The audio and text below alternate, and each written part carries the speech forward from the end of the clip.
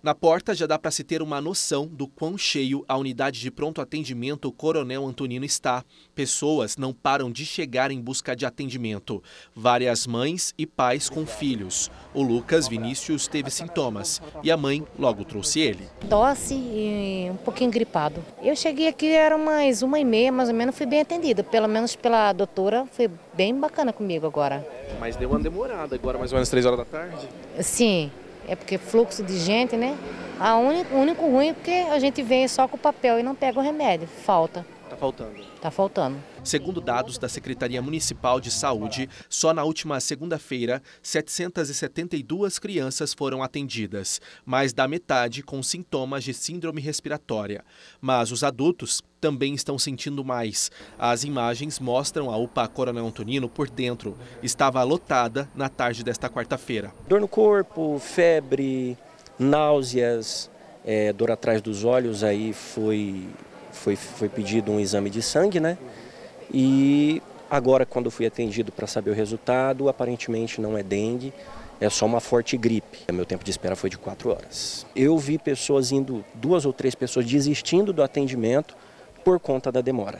Os atendimentos seguem acima da média e em todas as unidades.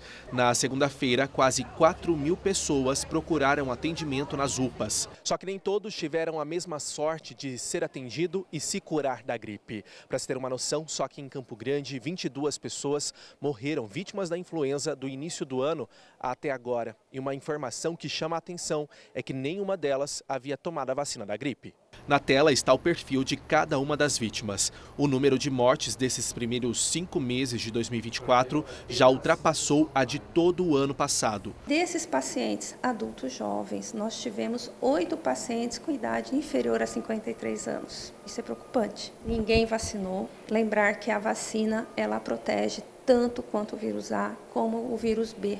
Então é importante, não só o grupo de risco, todo mundo acima de seis meses de idade deve ir a um posto para fazer a vacina. A vacinação segue com preocupação na secretaria. Apenas 33% da população de Campo Grande foi imunizada contra a gripe. Procure uma unidade de saúde. Finais de semana estamos fazendo campanhas, nós temos vacinas ainda e continuaremos a vacinar. Ainda de acordo com a secretária, os leitos seguem com 100% de ocupação. Estamos já há mais de 80 dias com todos os nossos leitos de UTI neonatal, UTI pediátrica acima da nossa capacidade os hospitais ampliaram leitos né, para absorver isso e as urgências e emergências dos hospitais também estão lotadas.